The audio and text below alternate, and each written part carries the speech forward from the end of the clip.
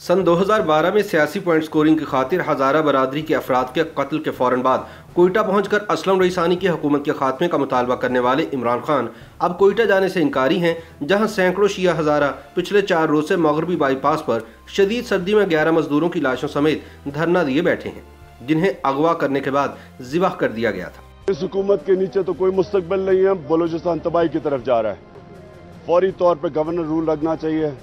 और अगर गवर्नर समझता है कि फौज की ज़रूरत है, फौज के ज़रिए कंट्रोल करें लॉ एंड ऑर्डर सिचुएशन खून जमा देने वाली सर्दी में खुले आसमान तले धरना दिए बैठे मुजाहिरीन का मुतालबा है कि वज़ीर आज़म इमरान खान उनके पास आए और जाम कमाल खान इलियानी की हुकूमत खत्म करने का ऐलान करें, जिसके बाद वो अपने प्यारों की लाशें दफन करेंगे।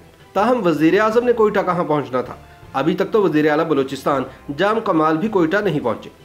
और इस अफसोसनाक वाक़े को चार रोज गुजरने के बावजूद वो दुबई से वापस आने को तैयार नहीं है। इस दौरान चार जनवरी को वज़ीर दाखिला शेख रशीद अहमद कोयटा पहुँचे और मुजाहरीन से मुलाकात करके उन्हें धरना खत्म करने की दरख्वास्त की।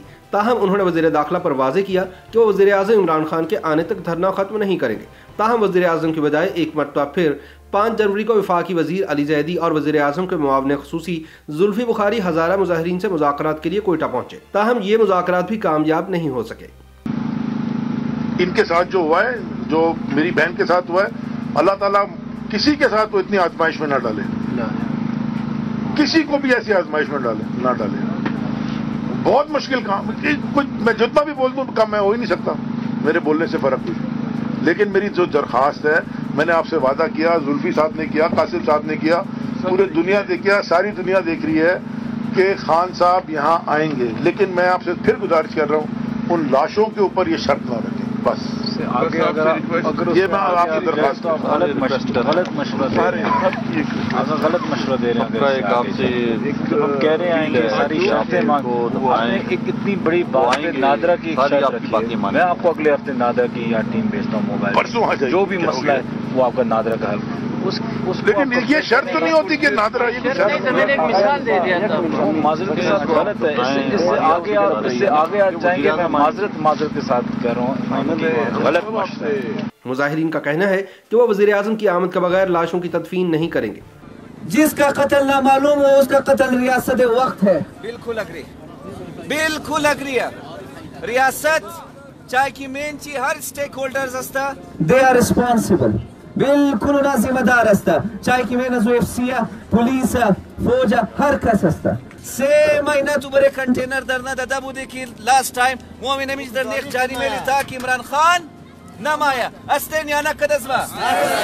इमरान खान कोइठाओ कबूला दूसरी तरफ़ माजी में इस तरह के वाकत पर सियासी पॉइंट स्कोरिंग करने वाले इमरान खान इस्लामाबाद में छुपे बैठे हैं और नागजीर वजूहत की बिना पर कोयटा जाने को तैयार नहीं। ख्याल रहे कि मच में वाक़ कोयला फ़ील्ड में नामालूम दहशत गर्दों के हमले में ग्यारह कानकुन अगवा के बाद गले काट कर कत्ल कर दिए गए थे। इन सब मजदूरों का ताल्लुक बलोचिस्तान की हज़ारा कम्यूनिटी से है।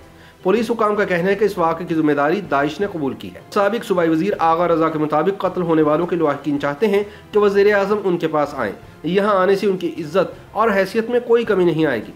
उनका कहना था कि जब तक वज़ीर अजम इमरान खान यहाँ नहीं आएँगे, वो मैतों को दफन नहीं करेंगे। धरने में शरीक खातून ताहिरा का कहना है कि उन्होंने वजी अजम की ज्यारत के लिए उनको यहाँ नहीं बुलवाया। वो कहती हैं कि अगर वो अपोजिशन में होते हुए ऐसे वाक़ात पर इजहार यकजहती के लिए कोयटा आ सकते हैं तो अब पाकिस्तान के वजी अजम होते हुए उनकी ज़िम्मेदारी ज़्यादा है। वो कहती हैं कि वजी अजम को यहाँ आना होगा और उनको हमें ये लिख कर देना होगा कि आइंदा ऐसे वाकयात पेश नहीं आएँगे। बीबीसी की रिपोर्ट के मुताबिक कोयटा में लाशों समेत धरने में मौजूद जारा बेगी ने बताया कि दहशत गर्दी के वाकयात में हलाक होने वाले उसके कज़न की उम्र सिर्फ़ अठारह बरस थी और उसकी चंद माह कबल ही शादी हुई थी।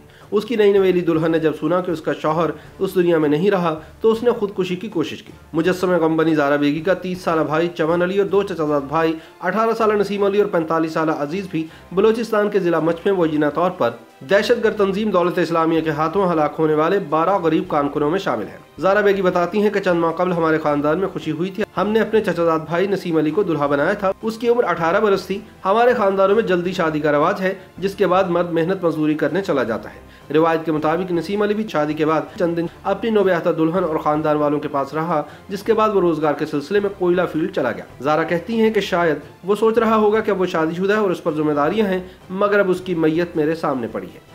उसकी नई नवेली दुल्हन बार बार फरियाद कर रही है, उसकी चीखें और आहो बका ज़मीन और आसमान हिला रही हैं। मैं वज़ीर अजम इमरान खान से कहती हूँ कि वो कोयटा क्यों नहीं आते? वो क्यों नसीन की दुल्हन की फरियाद अपने कानों से नहीं सुनते? जारा का कहना था कि मैं इमरान खान से कहती हूँ कि ये चंद लाशें नहीं, ये ख़ानदानों की तबाही है।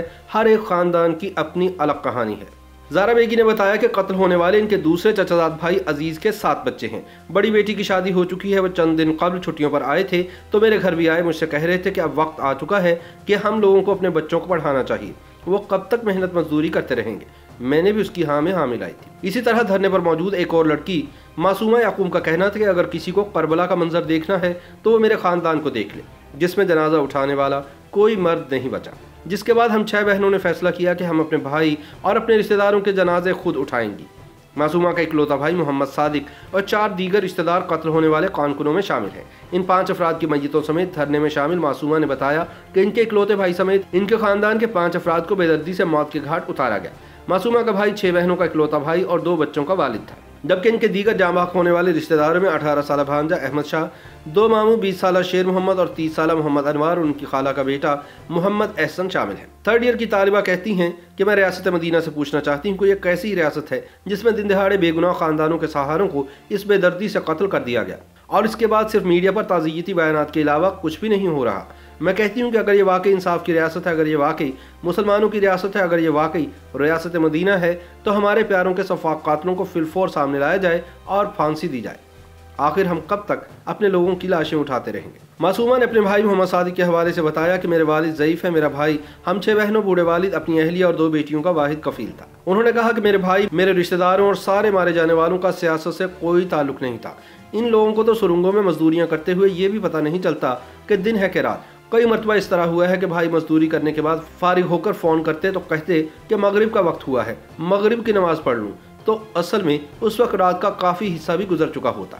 मेरी बड़ी बहनें अक्सर अपने भाई से कहती कि हमने काफ़ी पढ़ लिया है, अब हमें इजाज़त दो कि हम भी काम करें। तो कहता कि नहीं, अभी तुम लोग अच्छे तरीके से पढ़ो ताकि तुम्हारा मुस्तबिल महफूज हो। मासूमा यकूब अली का कहना था कि उनका भाई मजदूर था, कानकुन था, मगर वो इतनी मेहनत करता था कि हमारी तालीम समेत तमाम ज़रूरतें पूरी होती थी। हमारे भाई और वालिद का कोई बैंक अकाउंट नहीं, मगर हमारे तमाम मसाइल हल होते थे। उन्होंने बताया कि इस तरह मेरे खालाजाद मामूजाद मेरा कम उम्र भांजा, ये सब अपने ख़ानदानों के कई कई अफराद के लिए उम्मीदें और सहारा थे। इनके कत्ल होने से कई घरों के चिराग और कई घरों के चूल्हे बुझ चुके हैं। लेकिन वज़ीर अजम इमरान खान से इतना नहीं हो सका कि वह हमारे पास आए और हमारा गम बांटे। YouTube पर गूगली न्यूज़ देखने के लिए YouTube.com की सर्च बार में गूगली न्यूज़ टीवी टाइप करें। गूगली न्यूज़ के पेज पर सुर्ख रंग के सब्सक्रिप्शन वाले बटन पर क्लिक करना ना भूलिए। YouTube पेज पर अपलोड होने वाली वीडियो से बाखबर रहने के लिए बेल आइकन पर क्लिक कीजिए। आपको हर नई वीडियो के बारे में नोटिफिकेशन मौसू हो जाएगा।